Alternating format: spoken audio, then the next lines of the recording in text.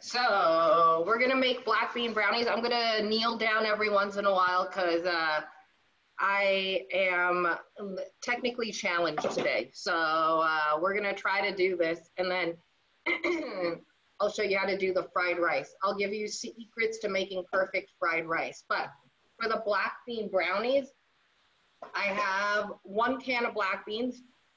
So all I'm doing is I'm putting them in the food processor. And then, oh, before I do that, I need to do something to show you guys. I already forgot. This recipe calls for oat flour. And I use a lot of oat flour in a lot of my cooking now. And all that oat flour is, is you take regular oats, and just chuck it in the food processor and let it spin. So you can use any kind of oats you have lying around. You can use quick cooking, um, old fashioned, really anything you have. So I'm just gonna let that go.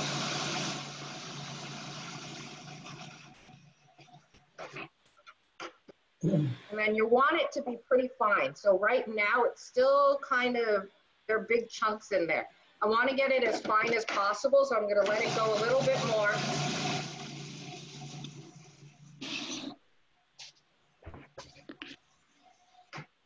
And you can use this as a substitute in a lot of your baking. So if you've got a recipe that calls for a certain amount of flour, you can take about a quarter cup of it out and substitute with oat flour. So it's not super fine, but it's fine enough for this recipe. And then we're gonna add everything else. So what goes in here are uh, black beans, a can of black beans, or I soaked mine, cooked mine, and did everything good. and then I have coconut oil. So if you don't have coconut oil, you can use regular vegetable oil and you're gonna add that in and you want it melted. And then I've also got cocoa powder and a little bit of vanilla if you have it lying around or almond extract works too. Baking powder and honey, agave, or maple syrup. So this is your sweetener. And you do need to add, it, it seems like a lot, it's about half a cup. Um, if you don't add it, it will kind of taste funky. So add what you need to add for this recipe. It's healthy with the black beans anyways. And then chocolate chips. So what I do is I'll save some of these chocolate chips to put on top too. So I'm not gonna add them all in. I'm just gonna add a little bit and you want your oven at about uh, 350 for this. So I'm just gonna let this go.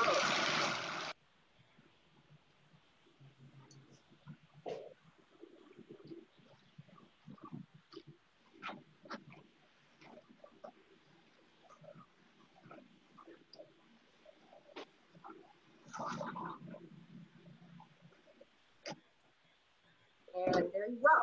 So you've got this kind of like oat mixture with chocolates in it. When it bakes, it actually smooths it out a little bit. So I'm gonna show you what I'm gonna use to bake it. And it only takes about 15 minutes. And it depending on what size you want. So I'm gonna make them in kind of like mini loaf pans, but you can use whatever you have on hand. Um, no, understanding that if you are using something smaller, it'll just bake faster. The other thing about this recipe is there's nothing in there in this that can't be eaten raw anyways. And so you don't have to worry about it baking through, cooking through, or anything like that. The great thing about this recipe is that the black beans keep it really moist. So you've got that kind of brownie feel to all of it, and you get that craving. You satisfy that craving with something healthy that has a whole bunch of fiber in it because you've got oats and um, black beans in there. And then if you wanted, you could use uh, cacao. But what they've realized is that when you use cacao powder instead of uh, regular cocoa powder, when you when it touches heat, there's really not much of a difference. You lose those good nutrients in the raw cacao. So you can do whichever one you want. All right. So then I've got three little guys right here that I've kind of portioned out. And what I'm gonna do is I'm gonna add just a couple extra that have kind of melted on me. little chocolate chips right on top. And then that goes in the oven, 350 again. Um, if you have it on convection, you might wanna drop it down another 25 degrees and that just goes in for about 15 minutes.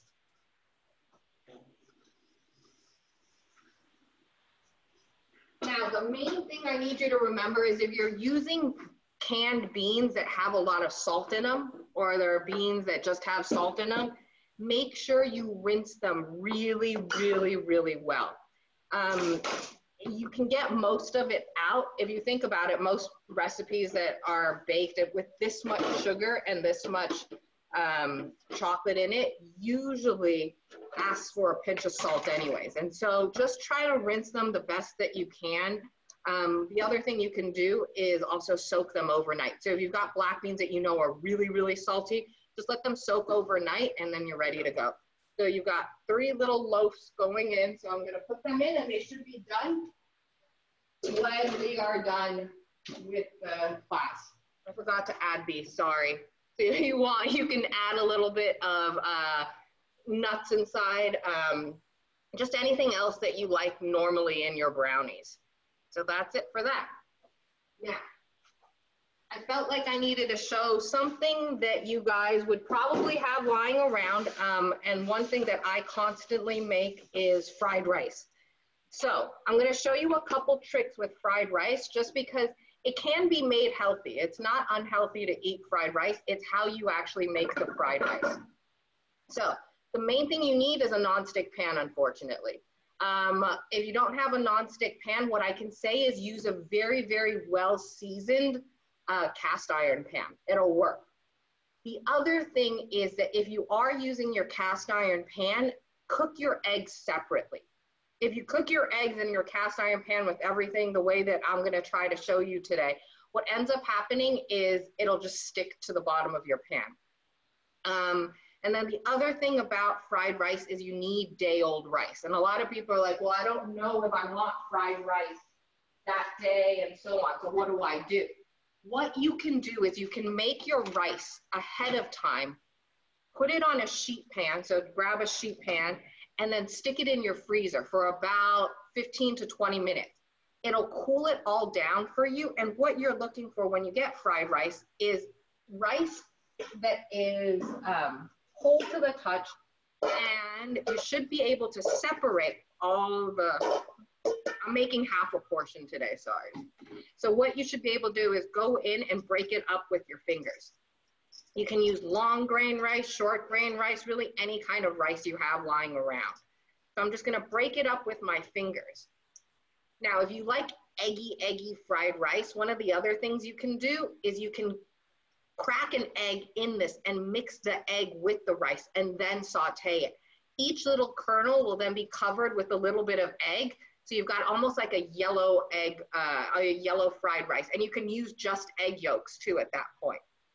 So one of the first things you wanna do when you get this though is you wanna just coat it with a little bit of oil. So I'm just squirting a couple drops of oil on there and then I'm gonna mix that up. That'll also help it help prevent it from sticking around, sticking onto the pan as much too. So I'm just gonna mix that around and I'm gonna set that aside. So I wanna get, make sure I get all those big chunks broken up and that's it. So I'm gonna set that aside and then I've got my egg that I'm gonna crack, but I wanted, a lot of people are saving their eggs, they're limited on eggs. And so how do you tell if an egg is good? So I'm gonna put it into a glass of water and it should sink. If it sinks, it's a good egg. If it floats, that's when you need to throw it out. So start ignoring the Best By dates and things like that. Just soak it in water. If it goes to the bottom, then it's good to go. If it floats, you gotta get rid of it. So I'm gonna take this egg out. And I'm only using one egg today. And so when you crack an egg, you want to use, you don't, sorry, you don't want to use the side of the bowl. Because if you use the side of the bowl, what ends up happening is the eggshell will go straight in there.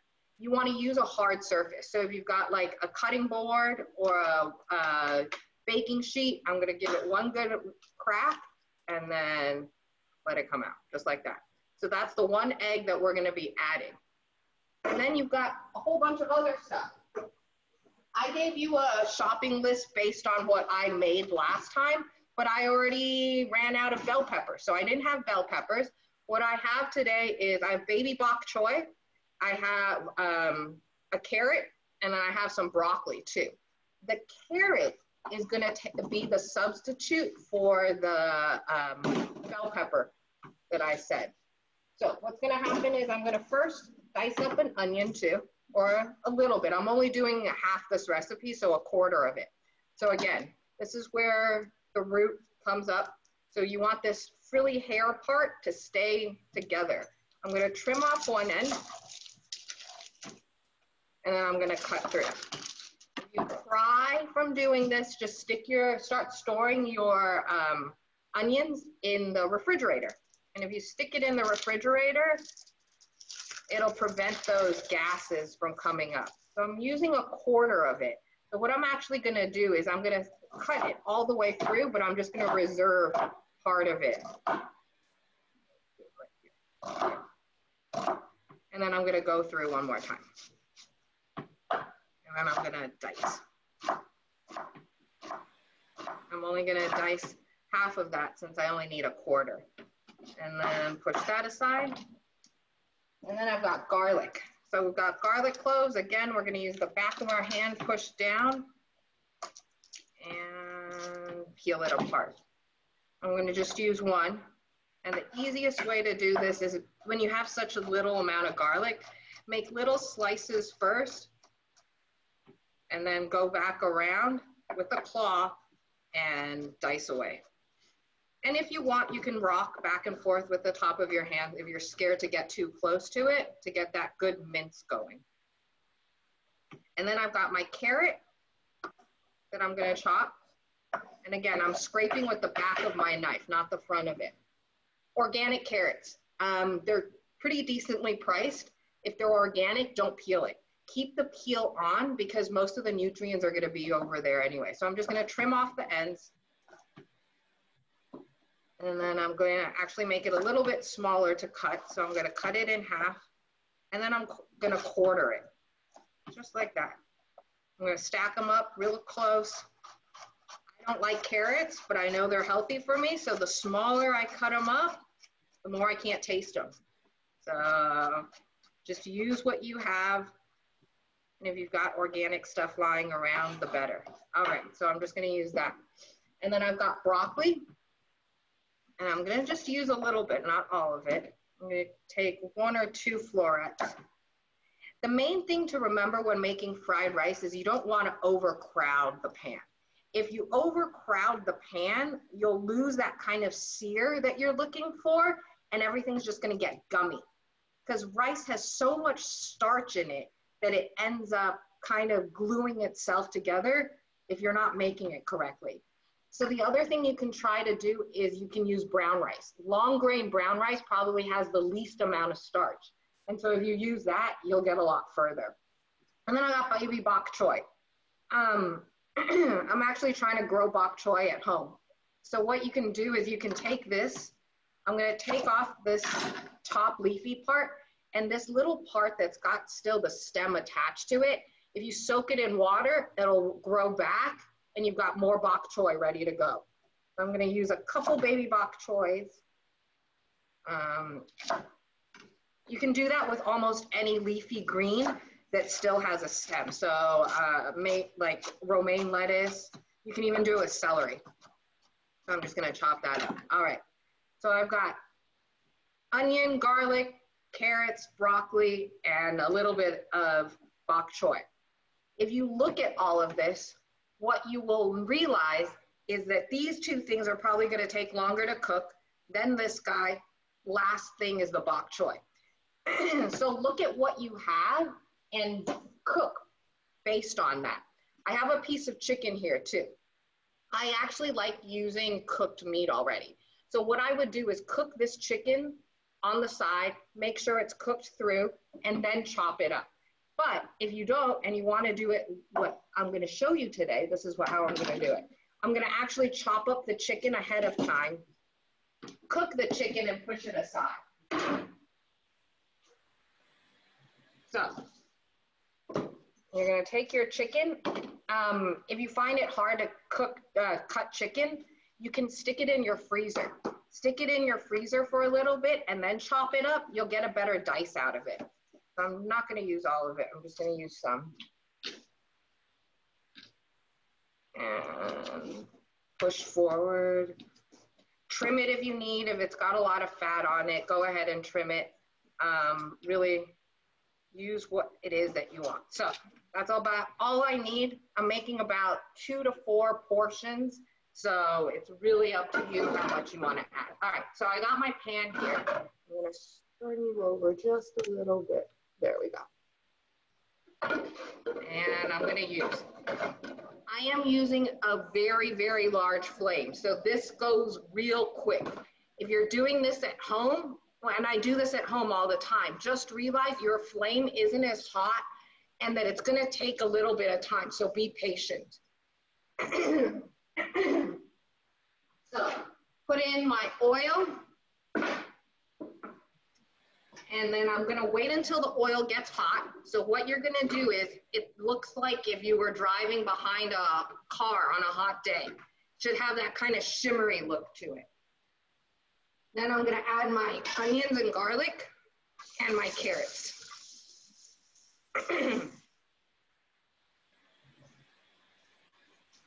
All right.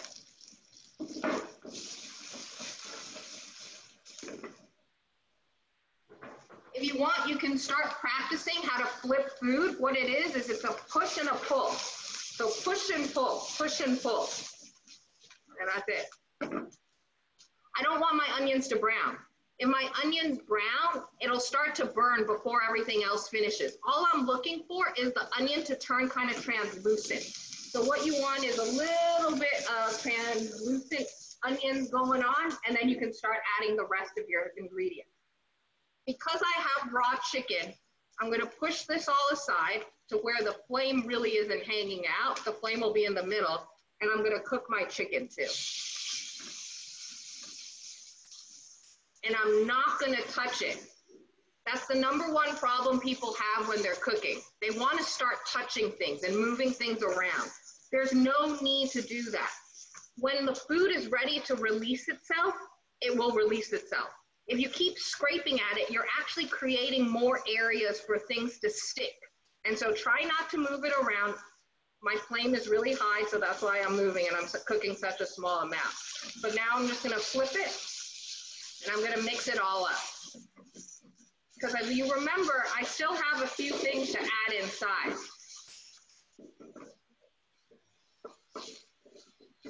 So again, move to the side. Now I'm gonna add my broccoli. You could add your broccoli a little earlier too if you want. Really up to you how you like your veggies. And then the fun part, the egg. So before I add my egg in, I'm gonna add a little bit more oil. I'm gonna give that a good mix and I'm gonna put it right in the middle, just like that. Some people will add their rice in first. I choose not to. I usually just do it this way because it's a little bit easier and I'm gonna give it a good mix.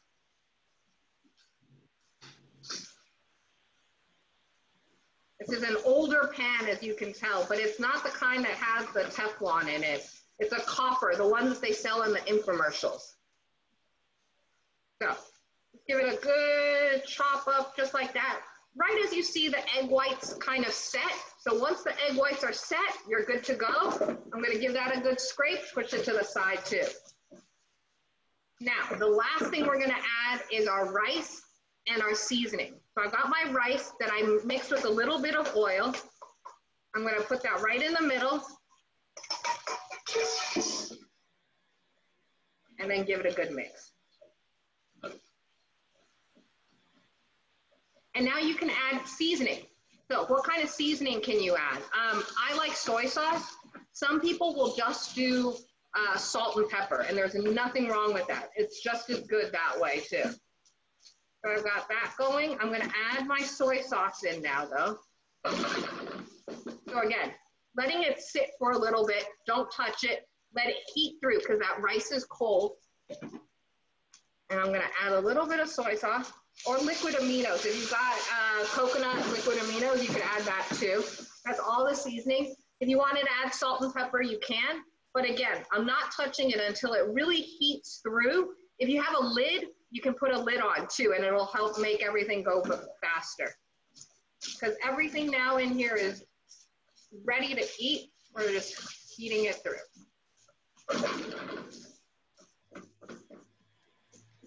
And again, use what you have lying around. I did this the other night with um, lemongrass pork. And I had greens of some sort lying around and added that in. So before we finish off though, we've got one last thing to add. Our baby bok choy. Because this is like, it's kind of like baby spinach.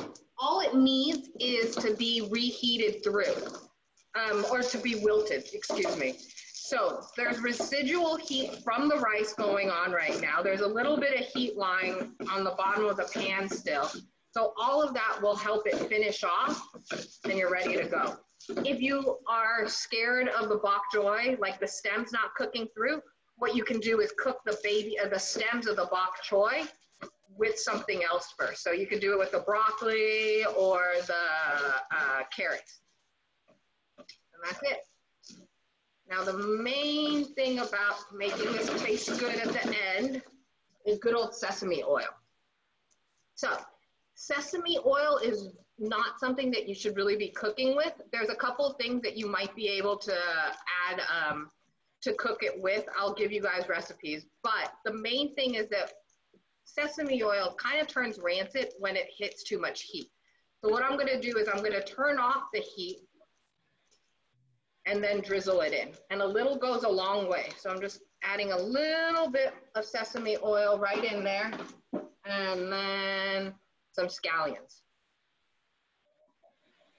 I got some chats going on, hold on. Yeah, spam is definitely the way to go too. So I've been making a lot of spam musubi at home too. And what happens with the spam is the next morning we make breakfast out of the spam too. So we do a spam and egg sandwich for breakfast usually if we have spam musubi the day before. And that's it. So you've got fried rice ready to go. And I'm just gonna bowl it up. And you can add more seasoning to it, taste as you choose.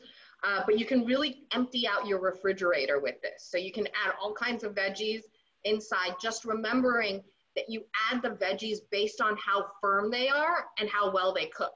So if you have something that's super crunchy, super hard, you want to cook it early on, and then do the. I like doing the egg first, and then adding the um, and then adding the rice. But it's really up to you. And if you want something less starchy, use brown rice and you're ready to go. So that's it. Any questions? Yeah. Hey, Jess. Yeah. Jess, my curious. What's the uh, uh, portion for the brownies? I um, it's on the website and we will send it to you. I will send, I'll put it in this chat in a sec. Actually, hold on, I can do it right now. Just give me one second. I have it right in front of me, that's why. I can give it to everybody then. Realizing I did mess up and I didn't add the, uh, the walnuts in. All right, everybody, I am putting it all up here so that you can see. There you go. It's in the chat. If you can reach the chat, it's right there. And let me just check on them. And I would cut through them right now, but there they are. So that's what they look like. Um, they look great. Um, and I'm not gonna cut through them because they are still warm. And so that extra chocolate that's in there is what's going to keep it together. There's a lot of variations of these um, that you can make. One of them being made with flaxseed egg. So if you're interested, what you can do is you can add even more nutrients in there by doing the version with flaxseed egg. It makes it a little bit um, more wet of a product though. So this one's a little bit more dry, um, but it tastes like the brownie, like the brownie edges idea, I guess. Um, so you're just waiting for it to crack on top, realizing again, everything in there is cooked and you can eat it all anyways. You could eat this batter raw if you wanted to. But it's easy. It's usually with stuff people have lying around. And so easy peasy dessert that's healthy and will keep you nice and fit. Any other questions? All right. Well, thank you. Any uh, suggestions for next week? Please let us know. I don't know. Um, I don't know what people have been cooking at home, but I cook every night again. Um, I'm trying to keep our website updated with new recipes. Um, I have a whole bunch. My husband has been making his friends jealous. He's been Instagramming every dinner recently. So I've got a week worth of random, random, random recipes. Um, for the rice, somebody was asking, can it be any type? Yes. So it can be brown rice, uh, long grain rice. The easiest to use is definitely long grain rice though. So if you've got long grain, because it has less starch on it, um, it won't stick to things as much. So basmati, if you have basmati lying around, that's probably the easiest one to use. Uh, pasta or baking bread tips. Okay, you guys want to do the bread baking. I will show the bread baking then that'll be fun. Um, I've yeah, I've been doing it. If you can find yeast though, I found flour and yeast recently at Aldi. So if you can't uh, find it, those two plate uh, Aldi seems to have both those items in stock right now. And pasta ideas. There's a lot of pasta ideas. That's nice and easy, but I will definitely keep those two ideas in mind next week. Maybe I'll do a pasta and a bread dish of some sort. Pasta and bread. Um, yes, and I definitely have French onion soup recipes. So that's nice and, and that's also one of those things that's easy to make, especially if you have an instant pot. Do most of you have instant pots by any chance? If you do, that's what I've been cooking out of. Okay, so, and a lot of people have been intimidated by it. This is the time to pop that guy out and start using it. So I'll give you guys some recipes that will also use the Instant Pot. So if you've never used it before, it can make everything. I make yogurt in it. Um, I make stews in it. I've made cheesecake in it. I've proofed bread in it. There's actually quite a lot you can do with your Instant Pot. So I'll keep those in mind and I will see you guys all next week. Have a happy day. See you guys later. Bye. Yes.